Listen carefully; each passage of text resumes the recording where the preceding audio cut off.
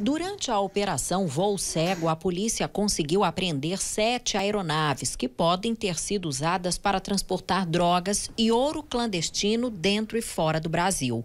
Os aviões foram encontrados em hangares no aeroporto de Anápolis. As peças todas aqui são muito bem controladas, porém aqui nada tem registro ou identificação. Os policiais também cumpriram mandados de prisão contra dois homens suspeitos de pertencer à organização criminosa.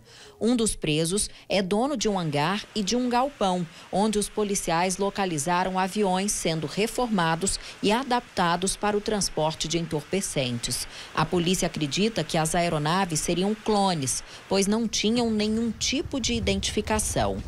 O esquema criminoso foi descoberto depois que o grupo anti-sequestro da Polícia Civil de Goiás começou a investigar o desaparecimento do piloto Ivo Benassi Bilegas, de 39 anos. Ivo decolou do aeroporto de Anápolis no dia 21 de fevereiro de 2018.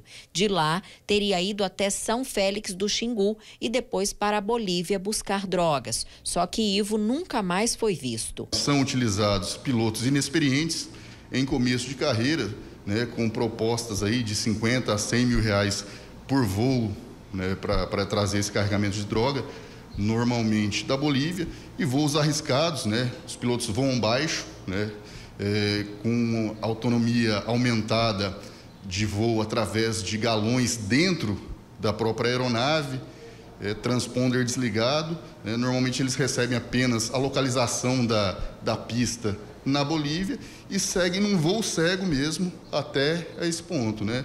E muitos não voltam por conta de, de acidentes aéreos. Durante as investigações, a polícia descobriu que, além de Ivo Benassi, outros dois pilotos de Anápolis também estavam desaparecidos. Eram os três ligados ao mesmo grupo criminoso é, e ligado ao tráfico de drogas através de aeronaves.